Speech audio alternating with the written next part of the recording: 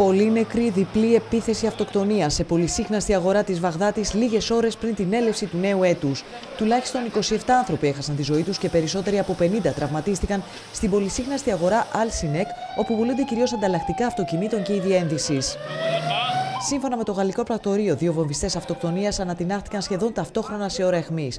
Πολλά από τα θύματα ήταν υπάλληλοι καταστημάτων που είχαν συγκεντρωθεί για το πρωινό τους κολατσιό όταν συνέβησαν οι εκρήξεις. Καμία οργάνωση δεν έχει αναλάβει μέχρι στιγμής την ευθύνη για την επίθεση. Ωστόσο, το αυτοαποκαλούμενο Ισλαμικό κράτος, το οποίο αντιστέκεται στην αντεπίθεση των Ιρακινών δυνάμεων στη Μοσούλη, συχνά πραγματοποιεί στην Ιρακινή πρωτεύουσα επιθέσεις αυτοκτονίας με θύματα αμάχους. Η τελευταία πολύ νεκρή επίθεση στη Βαγδάτη συνέβη στα μέσα Οκτωβρίου, όταν ένας βομβιστής αυτοκτονίας ανατινάχθηκε σε τελετής συλληπιτηρίων σε σιητική γειτονιά, σκοτώνοντας τουλάχιστον 34 ανθρώπους.